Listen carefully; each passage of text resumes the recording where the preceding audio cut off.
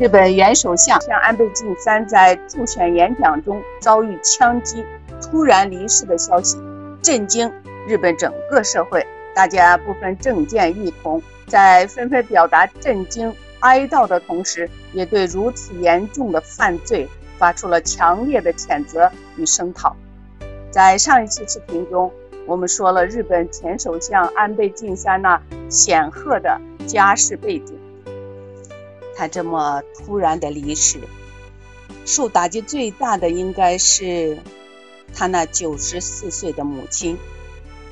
他没有孩子，除了夫人，就是母亲、哥哥和弟弟。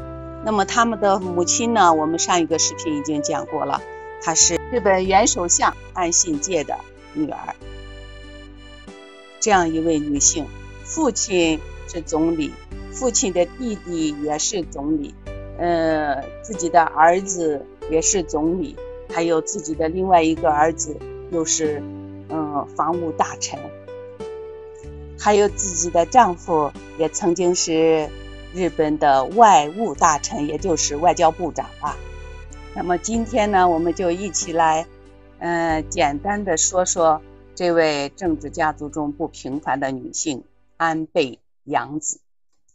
他于一九二八年六月十四日出生，出生在东京都的中野区，当时叫做。中野町，他的父亲我们前面的视频已经介绍过了，是岸信介，母亲是岸良子，叔父呢是另一位曾经的总理佐藤荣作。他是在一九四五年呢，从东京的白百合女子高中毕业以后呀，回到了山口县的老家。他们家呢，在山口县是实业家嘛，所以他回到山口县的，呃，银行的布施支店工作。那么在那里待了从四五年待到四九年，一九四九年呢，他又回到东京，住在他的叔叔家呀，就是佐藤荣作，嗯，在那个吉祥寺的一个老房子一个家里。到一九五零年六月呢，他就认识了。当时在《每日新闻》报社政治部做记者的安倍晋太郎，也就是安倍晋三的父亲，并于1951年5月呢结婚。婚后呢，他与安倍晋太郎生育了三个儿子，就是后来呢，安倍晋太郎又成为嗯众议院的议员，呃，外务大臣。三个儿子呢，我们在前面已经有所介绍。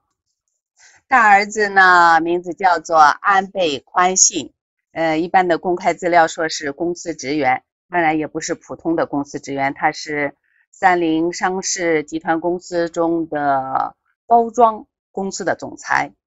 嗯，那么二儿子就是我们大家熟知的安倍晋三，日本原首相，还有另外一位呢，就是现在的日本的呃防务大臣岸信夫，是他的。三儿子，小儿子，婚后到了一九五三年，他的父亲岸信介在山口第二区竞选第二十六届众议院的大选时，呃，杨子是第一次出面参与助选活动。那么到后边呢，到了一九五五年，也就是他结婚四年以后呢，就安倍一家呢也就搬进了在东京涩谷南平台的岸家一起生活。后来呢，岸信介在担任外务大臣时呀，他们还一起搬到白金官邸中住了两个月。再后来呢，岸信介成为首相后呢，呃，就并没有去首相官邸去住，而是又回到了南平台的家。当然，安倍一家呢也一同回到了南平台的家一起生活。到安信介退出政坛以后呀。杨子呢，就成为丈夫安倍晋太郎的选区的山口一区的助选活动的领导者。当然，以后接着继续为儿子的选举奔波助选，也是在山口一区。所以呢，就是说，不管是岸家呀，还是安倍家呀，他们老家都在山口，一个是山口一区，一个是山口二区，分在两个区选举。那么，杨子作为他们那个。助选办公室的领导者，在安倍晋三当了总理以后呀，这个重担呀就落在了安倍晋三的夫人，嗯，安倍昭惠的肩上。呃，现在他已经九十四岁了，他现在住在东京涩谷区他们的私家公寓里，呃，与儿子的家人住在一起。杨子本人呢是国际妇女福利协会筹款委员会的委员。嗯，他的字写的非常好。他大儿子出了一本书，介绍他们家里日常就是平常人的生活，也就是素颜，也就是说，嗯，不是政治家，不是政治舞台上的普通家人的生活的一本书。那本书的那个封面题字就是他母亲写的，他母亲的字写的非常好。他是那个政治家夫人有一个那个书法会，他是会长。他们那个会的名字呀，叫的特别特别的震撼人心，叫什么呀？叫做雍容院，雍容华贵的雍容呀。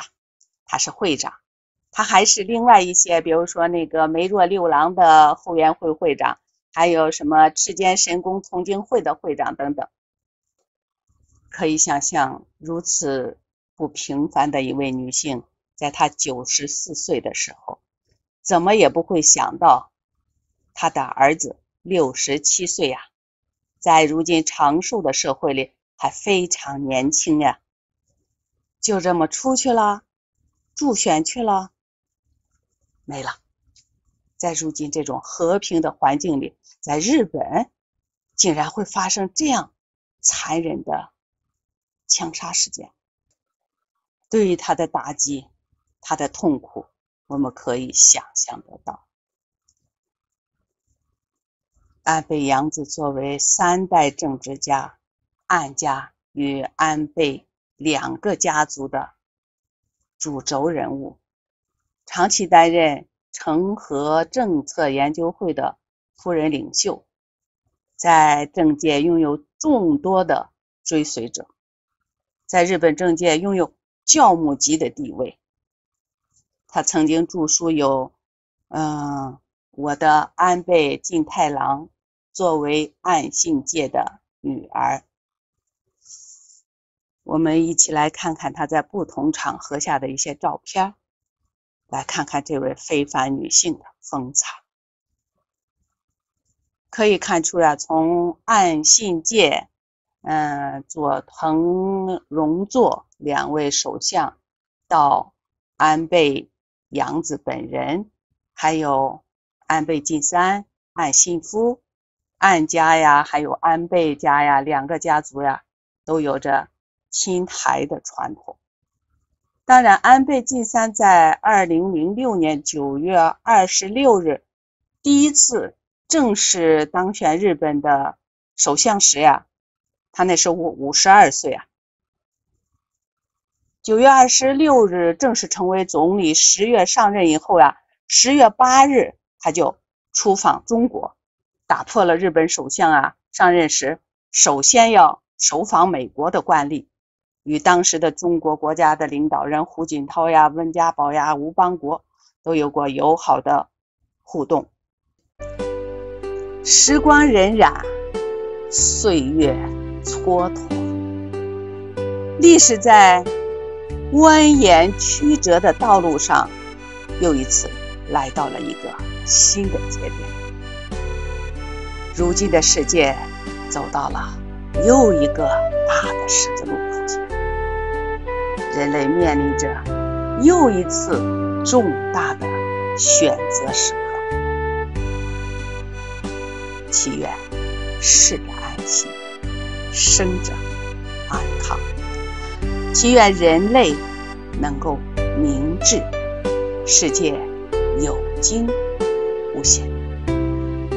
感谢您的收听收看，那么今天的分享就到这里，下次见。